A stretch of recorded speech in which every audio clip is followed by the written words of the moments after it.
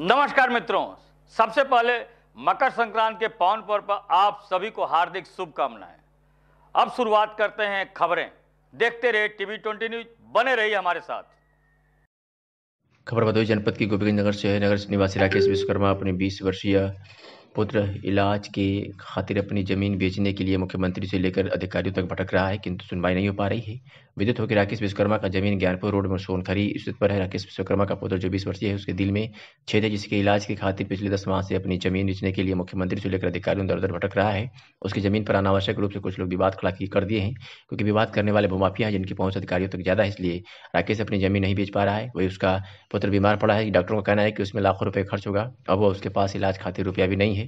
वो सोचता है कि ज़मीन बेचकर अपने पुत्र का इलाज करा ले, किंतु ज़मीन बेच नहीं पा रही, इसके लिए वो कई बार मुख्यमंत्री के यहाँ जाकर शिकायती पत्र जनता दर्शन के दौरान दिया है। यही नहीं, सुन, पुलिस अधिकारी, अधिकारियों से लेकर अन्य अधिकारियों तक कई बार शिकायती पत्र दे चुका है, जहाँ शासन द्वारा ज़मीन संबंधी विवाद को लेकर हल कराने के लिए हर गाँव में चौपा लगाने के निर्देश दिया है। इस दौरान भी उसका विवाद वैसे ही पड़ा हुआ है। आज भी राकेश दर के ठोकर खाने को मजबूर है। राकेश ने कहा कि यदि उसका विवाद हल नहीं होता है तो पूरे परिवार के साथ आत्महत्या करने के लिए मजबूर हो जाएगा, क्योंकि पुत्र से बड़ा कोई नहीं होता। में इलाज के दौरान जो है मांगा गया और मैं पैसे से मजबूर हूँ। मेरे पास अराजी नंबर 318 का सोनखड़ी में ज़मीन है, जो मेरे नाम है। मैं उसको बेचकर अपने बच्चे का इलाज करना चाहता हूँ। हम चारों भाई का यही निर्णय है।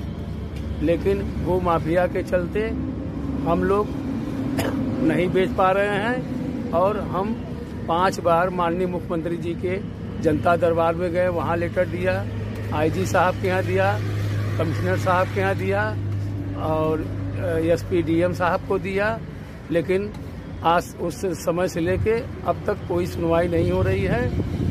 और थाना दिवस में, कई बार थाना दिवस में देकर दरखास्त, और केवल ये पूरा पूरा किया जाता है कि चलो जो है, तुम्हारा देखा जाएगा। लेकिन आज हमारे बच्चे की हालत, वो हालत है कि हम कुछ कह नहीं पा रहे हैं। और मैं अपने बच्चे का इलाज करवाना चाहता हूँ। अगर न्याय मुझे इस जिला से नहीं मिलेगा तो मैं अपने पूरे परिवार के साथ आत्महत्या कर लूँगा।